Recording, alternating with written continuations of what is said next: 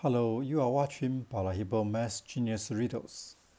The questions come from Russia's Math Olympiad test. We have equations x cubed minus y cubed equal to x times y plus 61. x, y are positive integers. Find the value of x and y. Can you find the value of x, y? Pause the video and find the answers in your site while you are ready. Keep watching the video to check the result.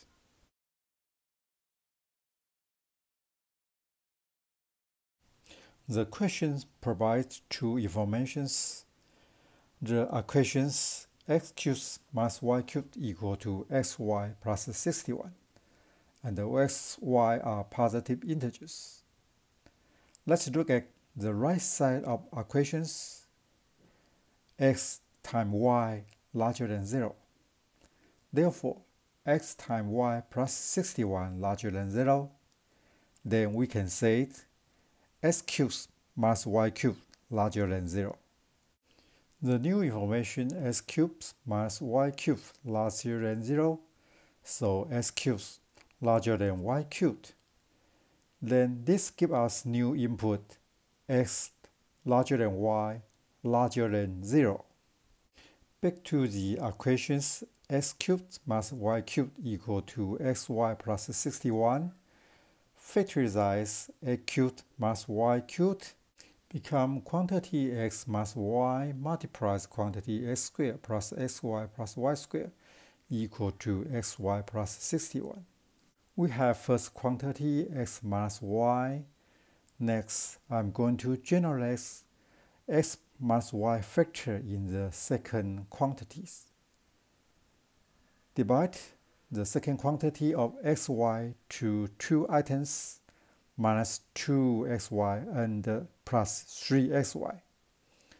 Then x squared minus 2xy plus y squared equal to quantity x minus y squared. So we have quantity x minus y multiplies quantity x minus y squared plus 3xy equal to xy plus 61. For easy calculations, define x minus y equal to a and x times y equal to b. Substitute x minus y by a and xy by b to the equations then become a times bracket a square plus 3b bracket equal to b plus 61. Derive to a cubed plus 3ab equal to b plus 61. Next, I'm going to check b result. So move 3ab to right side and 61 to left side of the equations. Then we have a cubed minus 61 equal to b minus 3ab. Move out b in the right side items as b times bracket 1 minus 3a bracket.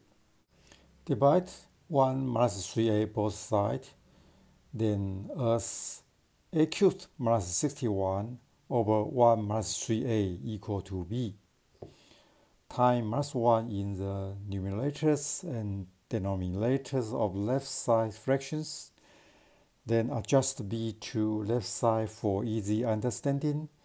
The equation become b equal to 61 minus a cubed over 3a minus 1. b is positive integers, so 61 minus a cubed over 3a minus 1 larger than 0. We know 3a minus 1 larger than 0 so 61 minus a cubed must larger than 0. It means 61 larger than a cubed. The question for us become which value of a can meet the conditions 61 larger than a cubed. We have a equal to 1, then a cubed equal to 1. a equal to 2, a cubed equal to 8 and uh, a equal to 3, a cubed equal to 27. But if a equal to 4, aq equal to 64 is larger than 61, it's not the right values. While a equal to 1, substitute a by 1 to be equal to 61 minus a cubed over 3a minus 1 b equal to 60 over 2 equal to 30. We define x minus y equal to a and xy equal to b. Substitute a by 1 and b by 30 to these equations. Adjust x minus y equal to 1 to x equal to y plus 1.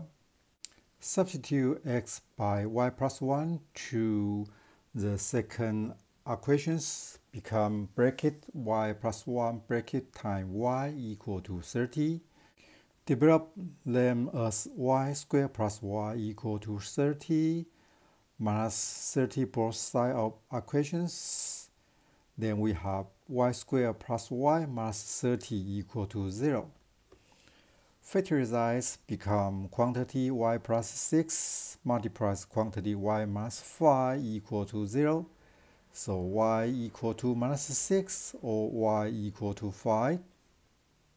Because y is positive integers, so the answer for y only equal to 5.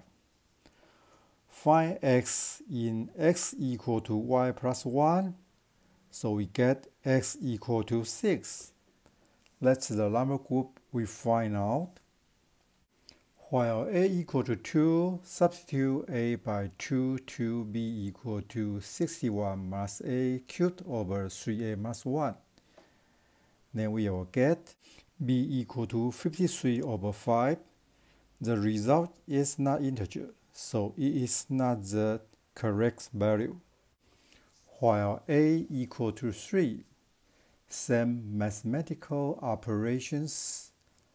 Finally, get b equal to 34 over 8. The result is not integer 2, so this is not the right value. So we get one number group for x and y. Do you get the same result? Hope you to enjoy the video. Thank you.